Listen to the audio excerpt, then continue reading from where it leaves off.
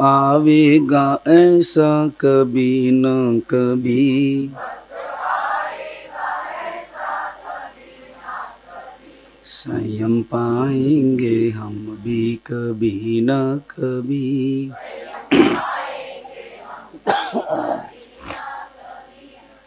जिन्होंने अपने प्रबल पुरुषार्थ के द्वारा मोक्ष धाम को उपलब्ध कर लिया, उन सभी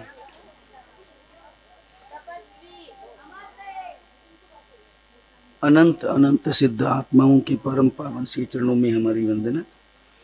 परम उपकारी लाखों परिवारों को वीतराग परमात्मा का मार्ग प्रदान करने वाले दादा गुरुदेव, श्री जिनदत्त सूर्य आदि चारों ही दादा गुरुदेवों के श्री चरणों में हमारी वंदना।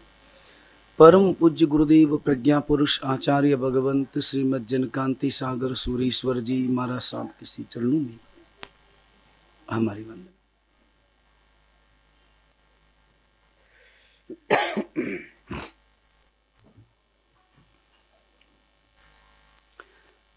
पर्वादिराज पर्यूषण महापर्व के सातवें मंगल प्रभात में आज हमने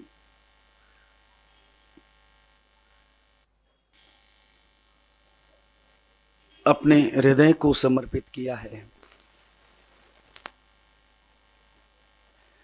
छह दिन बीत गए हैं, पता भी नहीं चला। लगता था जैसे कल या परसों ही तो पर्यूषण महापर्व प्रारंभ हुए हैं।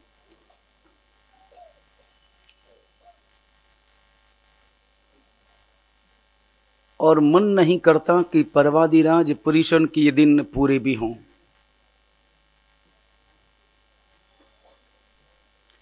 कल संवत्सरी महापर्व होगा परसों पारने होंगे। और उसके बाद एक एक करके जिस गति से आए थे, उससे चार गुनी गति से वापस लौट जाएँगे।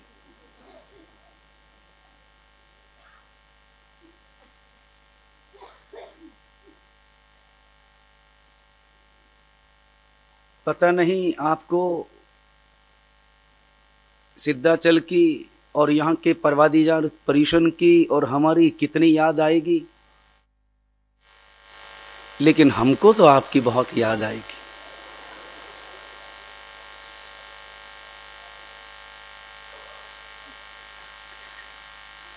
क्योंकि कल के बाद फिर प्रवचन किसे सुनाएँगे? फिर ये वातावरण ये धर्म सभा ये विशाल पांडाल भरा हुआ,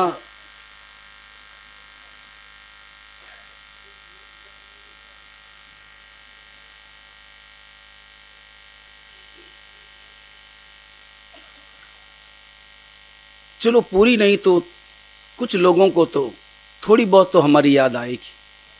आएगी कि नहीं आएगी? जिनको याद आए, वो परसों घर जाकर तरसों वापस चले आना।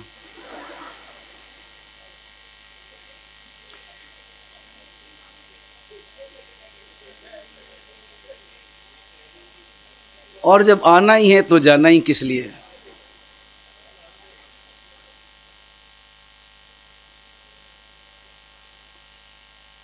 आप चले आना हमारे द्वार पर। हमारे दरवाजे आपके लिए 24 घंटे खुले रहेंगे।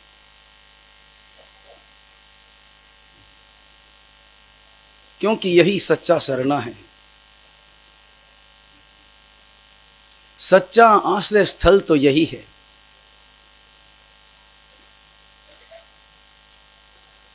जहाँ आपको ज्ञान मिले और जहाँ ज्ञान के परिणाम स्वरूप प्रेम मिले, भक्ति मिले।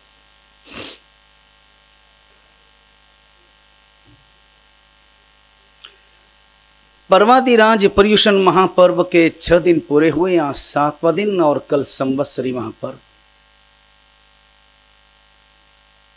छह दिन की तैयारियाँ। कैसे बीते ये छह दिन? किन भावों में बीते? तब हमने यथाशक्ति किया। लेकिन भावनाओं का उल्लास तो वर्धमान होना चाहिए।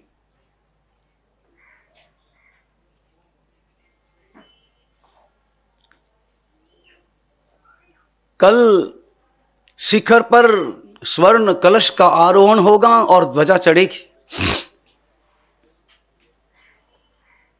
मंदिर पूर्णता को प्राप्त होगा। ये साधना का मंदिर, ये आराधना का मंदिर,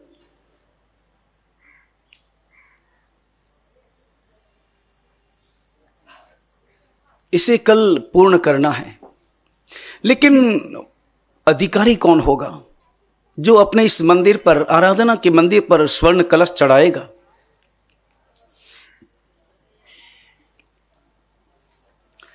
ध्वजा लहराएगा। कल सुबह ठीक साढ़े छह बजे, मूल बारसा सूत्र का श्रवण करके हम अपने जीवन को धन्य करेंगे। परमात्मा की मूल वाणी सुनेंगे। एक एक अक्षर में ऊर्जा से परिपूर्ण, शक्ति से परिपूर्ण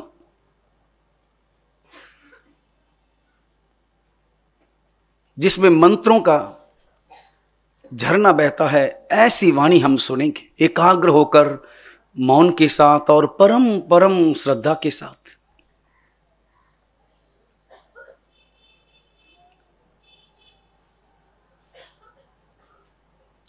बाकी दिनों में तो हो सकता है कि हम थोड़ी देर देर बाद आए और पहले चले गए। कोई दस मिनट बाद, कोई ग्यारह मिनट बाद, कोई बीस मिनट बाद आए, चले गए।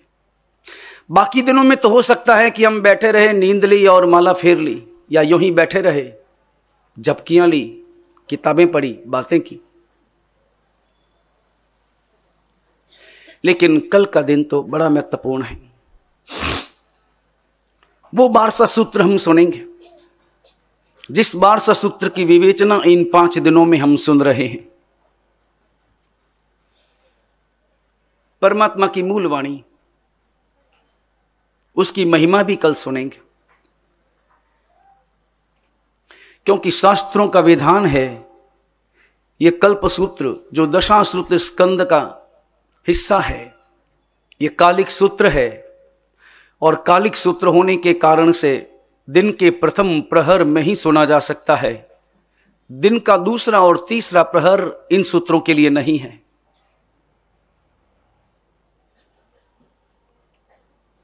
प्रथम प्रहर के बाद इसे नहीं पढ़ा जा सकता।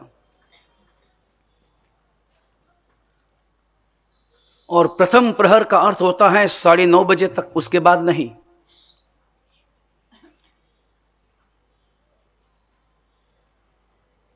कल नौ बजे तक बारसा सूत्र पूर्ण करना है।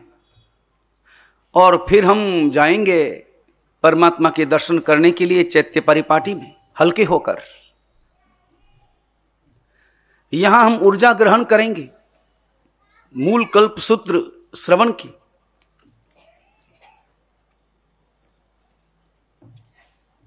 और उसके बाद मंदिरों के दर्शन कर अपने हृदय में परम धन्यता का अनुभव करेंगे। लेकिन ध्वजारोहण तो शाम को होगा।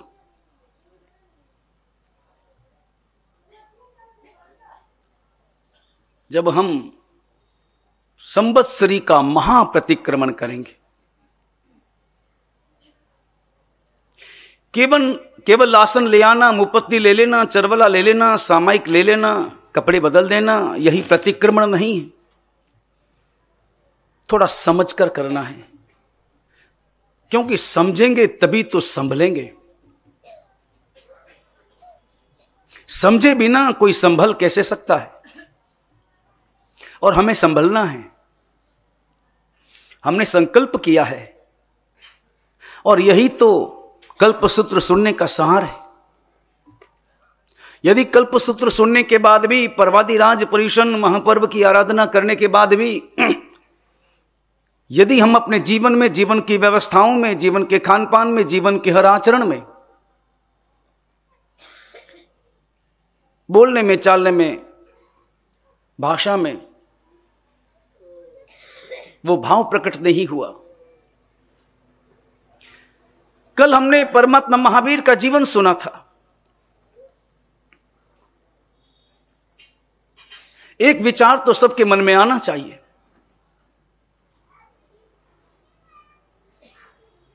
कि परमात्मा महावीर का जो पहला भव था,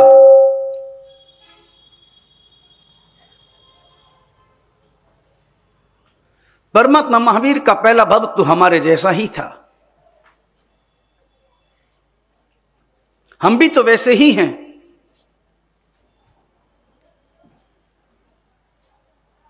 जब परमात्मा महावीर वो नए सार वो नए सार वर्धमान बन सकता है तो हम महावीर क्यों नहीं बन सकते? लेकिन रुचि चाहिए। वो भाव चाहिए।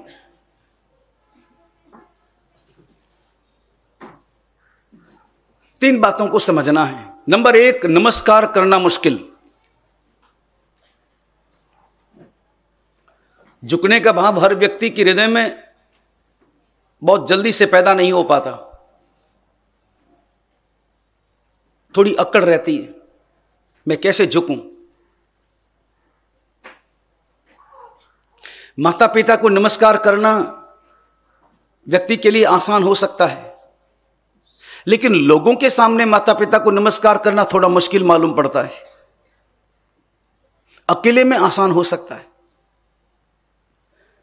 लोगों के सामने कैसे झुकू फिर भी नमस्कार करना आसान, मगर गुणवान व्यक्ति को नमस्कार करना और मुश्किल। एक सत्ताधीश व्यक्ति को नमस्कार करना आसान है, एक धनवान व्यक्ति को नमस्कार करना आसान है। एक दुनिया में प्रसिद्ध कोई व्यक्ति हो और उसे नमस्कार करना आसान है। कोई पद पर बैठा हो और उसमें भी कोई सरकारी पद पर बैठा हो तो उसे नमस्कार करना आसान है। हालाँकि उन्हें होने वाला नमस्कार केवल द्रव्य नमस्कार ही होता है। फिर भी उन्हें नमस्कार करना आसान है, मगर गुणवान व्यक्ति को नमस्कार करना थोड़ा मुश्किल है। नंबर एक, नमस्कार करना मुश्किल, मगर फिर भी आसान नंबर दो, गुणवान व्यक्ति को नमस्कार करना और मुश्किल। नंबर तीन, गुणवान व्यक्ति को भी नमस्कार करना आसान। लेकिन गुण प्राप्ति के लिए गुणवान व्यक्ति को नमस्कार करना मुश्किल।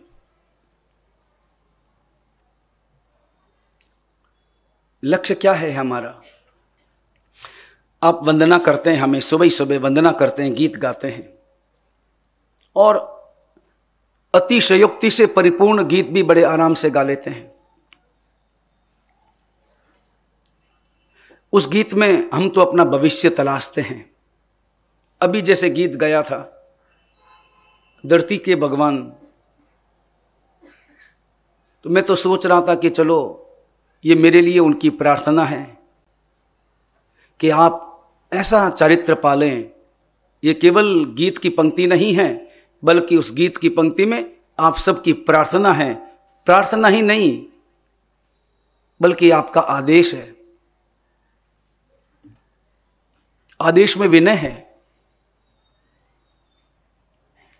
और आदेश इन शब्दों में है। जो छिपा हुआ है, जो भजन में नहीं लिखा है। आदेश इन शब्दों में है कि आप ऐसा चरित्र पालें और ऐसी साधना करें कि आप भगवान बन जाएँ। इन शब्दों में मैं, हम अपना भविष्य तलाशते हैं, तराशते हैं और निर्माण करने का हृदय में भाव भी रहता है और इसीलिए तो साधु बने हैं। हम साधु नहीं इसलिए है कि हम सिद्ध हो जाएँ। और सिद्ध होना ही तो भगवान होना है।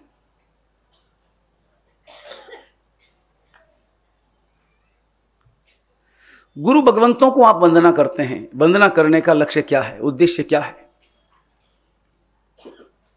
कभी आपने विचार किया कि मैं जो वंदना करता हूँ, वो क्यों वंदना करता हूँ?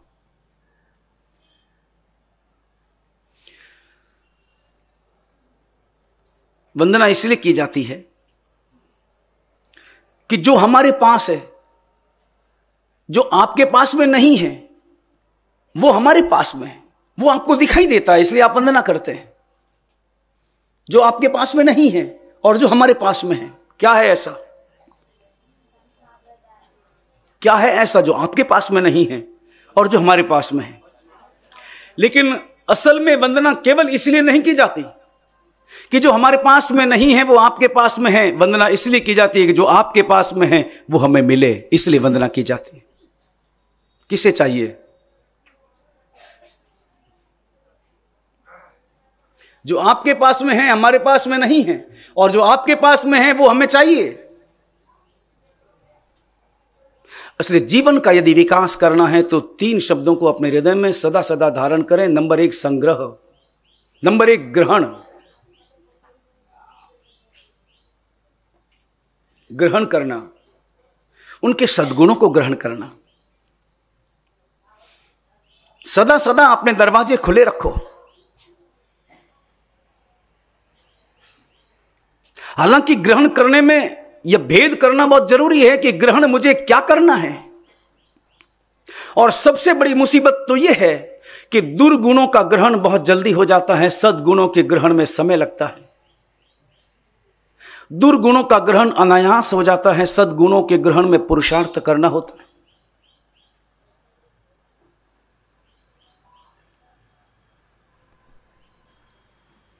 एक बच्चा रहता हो अपने मकान में, दाई और भी मकान हो, बाई और भी मकान हो, बीच में रहता हो, दाई और के मकान में अच्छा परिवार है, जहाँ नम्रता की भाषा है, जहाँ विनय की भाषा है, जहाँ संस्कारों की भाषा है जहाँ माता पिता का विनय किया जाता है, जहाँ बच्चों पर वात्सल्य उंडेला जाता है, जहाँ सुबह सामाई की जाती है, जहाँ परमात्मा की पूजा की जाती है, जहाँ परमात्मा की भक्ति होती। जहाँ परस्पर भाषा के प्रयोग में भी उदारता है, श्रेष्ठता है, उच्चता है, भाषा की ऊंचाई है।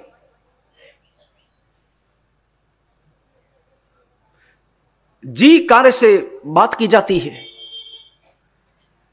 नाम के आगे श्री और बाद में जी लगाया जाता है। जहाँ भाषा में मिठास है जहाँ माधुर्यता है।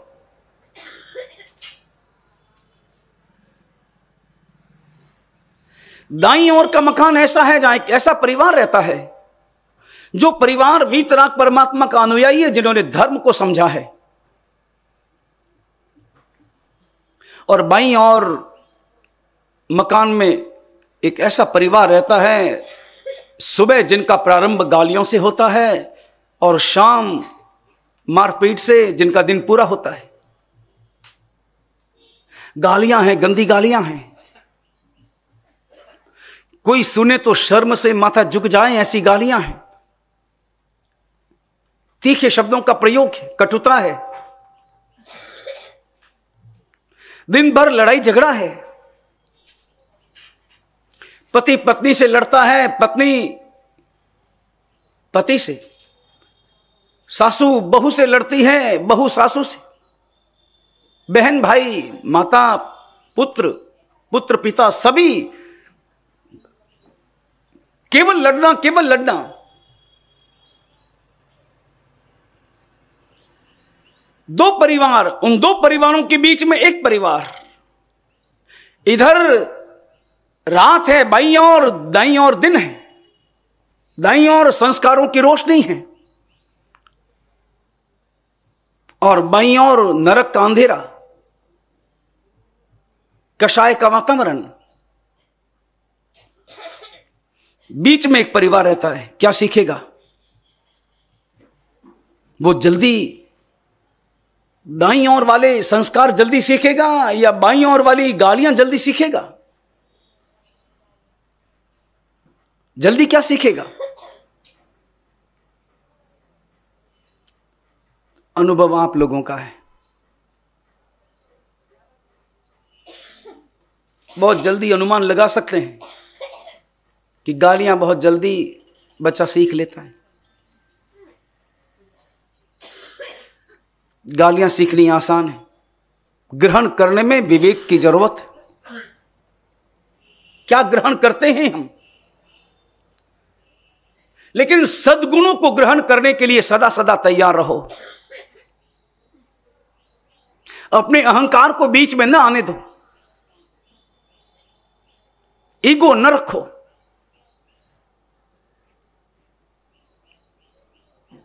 ग्रहण करो। गुरु भगवंत पधारे हैं, साधु साध्वी जी भगवंत पधारे हैं। उनके प्रवचनों से, उनके आचरण से, उनके उपदेशों से। धर्म ग्रहण करो, सद्गुण ग्रहण करो। ग्रहण करने का भाव अपने अंतर में होना चाहिए। नंबर दो, संग्रह करो।